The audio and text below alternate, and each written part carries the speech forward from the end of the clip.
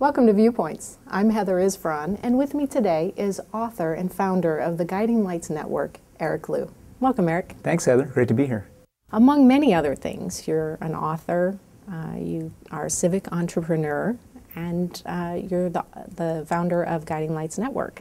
Can you talk a little bit about each of those things? Uh, you bet. Um, so I'm the author of several books, uh, most recently a book uh, that I co-wrote uh, uh, called Imagination First. And it's a book of practices for how people in all different walks of life go about cultivating their imagination uh, and really just practicing how they think more openly about what's possible. And um, we'll talk more about that, but that's a book that um, itself grew out of a, a different book that I wrote called Guiding Lights. And Guiding Lights was a book about great life changing mentors, teachers, coaches from all different walks, um, and what it was that made them so powerful and transformative. And uh, Guiding Lights, spending all this time with these remarkable uh, mentors, teachers, and coaches really cracked open for me the fact that at the end of the day, any great guiding light, what they're doing is they're opening up your sense of imagination of what you can do, of what you could be, of which way you could go.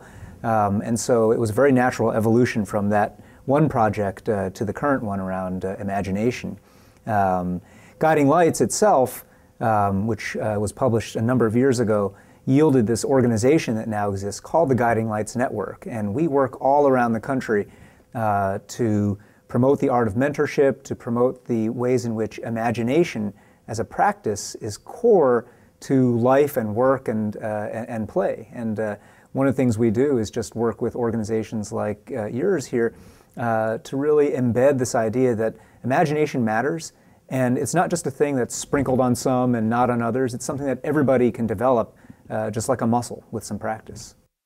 Well, as you know, the center and our audience has, they're consisting of mainly very crusty and hardened first responders, public safety officials, and people who deal with the facts and people who deal with what is. So tell me about imagination and what it is in, in that light. That's a great question. Um, we define imagination as simply the capacity to conceive of what is not. And you might think, I mean, anybody might think, not just your crusty first responders, you know, um, that, oh, imagination, it's just kind of frou-frou topic, and oh, it's nice to have over here, but it's not my main focus, you know. I'm not one of those imagination types, right? That's a, a thing that you might think. And particularly in the realm of homeland defense and security, um, that couldn't be more wrong. I think actually the core of the work in this realm is imagination, because when you're thinking about trying to anticipate new threats, anticipate different kinds of challenges that might come down the road. Think about how, um, when a situation arises that doesn't really fit into your preconceived silos of how org charts or bureaucracies or um, the rest ought to unfold, all of that requires imagination. All of it requires a nimbleness of heart and head uh, that says, you know what, I'm going to try to put together the pieces in a different way. I'm going to try to connect the dots in a different way. And so when you say that people in the realm of um, Homeland Security work in the you know work with facts and what is. Uh, that's true, but I think so much of how we interpret facts and put the pieces together and go from what is to what if, or how it is that we got to what is, um, all of that is work that uh, is centrally about imagination. And the more you can cultivate that capacity, that willingness, and some of it is cognitive, just really thinking around the corner and uh, anticipating uh, different outcomes and possibilities. And some of it, frankly, is just psychological. Like, are you willing to go there? Mm-hmm. Right? Are you willing to imagine a situation that isn't what you're really used to and isn't your routine? It's not comfortable, but boy, you shouldn't be in Homeland Security work if all you want is just comfort and predictability. That's right. Well, one of the things I really liked among many in the book is the ability to look at fear and how we operate in fear. And how can you imagine you know all these things happening. And when you might be fearful of your organizational structure just to begin with you Boy, know that's another great question. having you know imagination to get outside of that organizational structure. And then uh, the bigger picture of you know perhaps the fear of getting hit. And and how do you surmount those? How, how do you participate in imagination that way? Mm, great question. You know uh, my, my, co-author of this book a guy named scott Noppe-Brandon and I, we, we say that there are basically two big enemies of imagination. Uh, one is fear, and the other is expert knowledge. Ah. Uh, right? Um, you know, expert knowledge being, you know, when, when you think you know it all already, you don't bother trying to imagine what else there might be out there, right? If you think you've got it figured out. But the fear piece, I think, is encompassing, right? Because sometimes it's fear of failure. Uh, sometimes it's fear of success, right? Boy, if we do this right, then people are going to expect us to keep doing this right, right? Um, sometimes it's just fear of the unknown, and sometimes it's fear of the known. But the, the main thing as a, as a meta practice is just getting yourself individually and yourselves institutionally and collectively able and willing to just step outside yourself and look at the fear, right? What, and just behold it like an object. What is it that I or we operate in fear of, right? Right. Do we, within this bureaucracy, do we operate in fear of taking risk and getting our, our, our necks chopped off? Do we operate in fear of, um, you know, spending money on something when um, it's not clear that there's a direct, obvious threat at this moment, right? Um, and naming them in the first place, I think, is, is step one. Uh, because every organization, I don't care what scale it is, if it's a, a local police department or the Department of Homeland Security, we have a culture, right? And that culture sometimes has a lot of great things, but it often has a whole map of what people think is permissible, but they never say it, right? Right. Um, and being able and willing to say it and name it in the first place is number one, right? Uh, but the number two thing, I think, is recognizing once you've named the things that we as a group or institution are fearful of uh, is asking ourselves, in what ways is that fear serving us? Is it serving us well or serving us ill? Right? Sometimes different kinds of fear, whether you know of the kinds that I'm describing, can serve you well because it keeps you on your toes. But more often, particularly in bureaucratic organizations, it serves you ill because it narrows your sense of possibility. It makes you more risk averse. It makes you less tolerant um, of trying things that are outside the box. Right? Uh, and so again, asking yourself, is this fear adaptive or non adaptive? Mm. Like to me, that's a simple question. You are either in an organization that is continuously evolving or one that is dying, right? And evolution requires adaptation. If you are not adapting to, even at the smallest levels, new ways that you know, potential threats are coming at you or new ways that new opportunities could be opening up to, to get ahead of a curve, um, then you're not, um, you're not doing your job, right? And so imagination requires fundamentally that um, you, you, face these fears. The book Imagination First, we draw 28 and a half practices from all these different realms, uh, from uh, the, politic, the world of politics, diplomacy, the military, uh, but also the arts, sciences, education, parenting, uh, you name it. And you know, you realize when you spend a little bit of time connecting these dots that it's all kind of the same thing, right? The vocabulary that someone uses who's a hardcore first responder might be totally different from the way that you know an early childhood educator uh, might talk about stuff. But in the end, the same questions arise about how do you frame up the sense of what's possible and how do you expand that frame of what's possible. And some of the practices that we talk about in the book are all about really being aware of the story that you're telling over and over again. Because stories can help shape us, but they also can imprison us, right? And that story can be about, oh, I'm not one of those guys who does this. I'm a, I'm a small, I'm a details guy, not a big picture guy. Right. Right? Well, that's a very imprisoning story you're telling about yourself, right? And if you take it up one scale, oh, our, our department, you know, we clean up messes, but we don't really think ahead about the future, right? If that's a story you're telling, then that is not adaptive, right? Um, and so being able to look at the stories you tell uh, and what the map is of, uh, of fear and hope that shapes those stories is pretty critical. So, talk about a little bit more about the imagination, creativity, and innovation, the ICI yeah. continuum, if you will. Yeah. So, uh, earlier I said that we define imagination as this capacity to conceive of what is not, mm-hmm. right? I think a lot of times in American life, at least, we use these words interchangeably imagination, creativity, innovation, right? And particularly innovation. Um, Americans love to worship at the altar of innovation. We want innovation now, instantly, we prize it whether you're in the business world, in government, in education. And our argument is that these three things aren't exactly interchangeable. They're all connected, but you know, imagination is the foundation. It's what comes first. It's why we called our book Imagination First, right?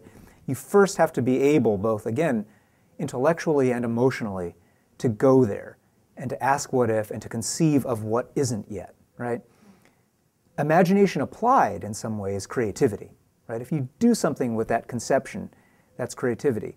And then only some subset, some small subset of creative acts, if they advance the form somehow, are innovations, right? And so it's this real pipeline. And you know, to use a very simple thing, I mean, I, I have a daughter who's in middle school. If my daughter conceives of a new way to draw a plant or a table or something, a flower, um, she's exercising imagination, right? A, a, way that hasn't yet, doesn't exist on Earth, right? But it's not till she actually sits down and puts crayon to paper that she's exercising creativity, right? Right. And then she draws that picture, and then it's only, I mean, as lovely as a picture as it may be, that picture is only an innovation if it somehow really has changed the form of pictures of flowers, right? If it's some kind of Picasso type innovation in the way you do form and function within an image like that. And so that continuum is, it just helps you clarify what you mean when you're talking about stuff. And it also clarifies that if you want an organization that thrives on innovation, the way that the center talks about doing, the way that other organizations do, then you have to pay attention first to imagination. So, for folks who are just interested that have heard this podcast and are just maybe putting a toe in the water to say, you know, I might want to look at that a little deeper, but then you know, not having done it before, how would you recommend they start? I think one of the simplest things that people could do who are watching our conversation right now mm-hmm. is just decide, you know what, next chance I get, might be at a staff meeting, might be at a lunch break, um, I'm just going to lean forward and take a little risk and start a conversation about imagination. I'm going to start that conversation and say, you know, I was thinking, guys, you know, in our work, like so much of what we do depends on us being imaginative and and thinking about things coming down the pike, but we don't actually talk about that that much. And maybe it'd be useful for us just to spend 20 minutes, 30 minutes talking about what do you do to kind of keep your those muscles toned and fit for you, right? Because imagination is a muscle. It's not this people have this conception that it's you know, it's this entity that either you got it or you don't. Right. Right? And that's one of the myths that we try to bust right through in this book. Every single one of us, every single one of us is born with this capacity. And the only question is, how much are you willing and able to raise your game? How much are you willing and able through practice and exercise to strengthen that muscle? Every child born on earth is born with a deep, deep capacity for imagination. What is learning how to be a human except the exercise of imagination, right? But as we become older uh, and we get professionalized and we go into large organizations, that gets a little bit kind of drawn out of us, right? And part of what we have to do is be intentional you know, this is, a, this is so much about a, a, a practice of intentionality and paying attention to the fact that you got this and you got to exercise it, right? And so I would just encourage people to take that little risk and, and uh, either formally or informally start a conversation about the ways in which imagination plays out in your work and your life. And I think you'll be surprised. People once once people get permission mm-hmm. to talk about this topic, it stuff starts pouring out, right? I don't care how hardcore, hard bitten you are. I mean, I've led these kinds of conversations on Marine Corps bases, you know, um, at Marine Corps Officer Candidate School. You know, I mean, you're talking about some, some gung ho people, right?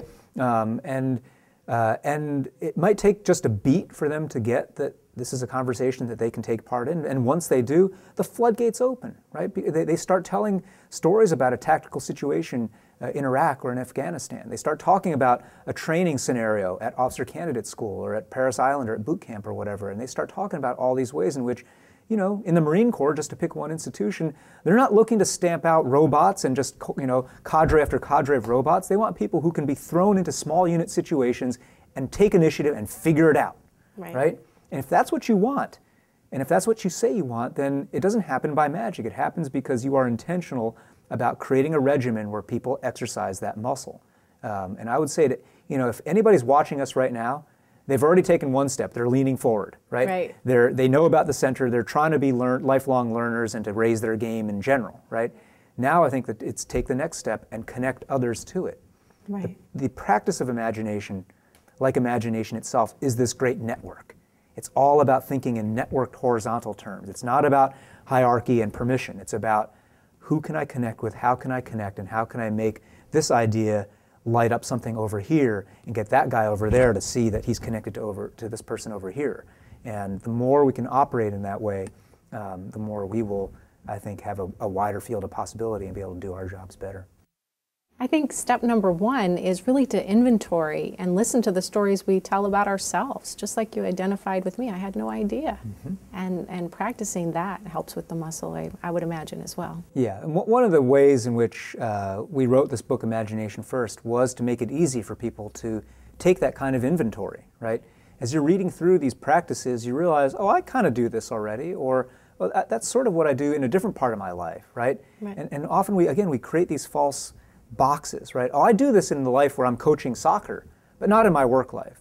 You know, or I do this when I'm parenting, but not here, right? And um, again, breaking down those walls and getting you to see that these, these ways of being um, are, are really consistent across all the different identities that, uh, that we have. Well, thank you for helping us all step up our game today. For this Appreciate great conversation.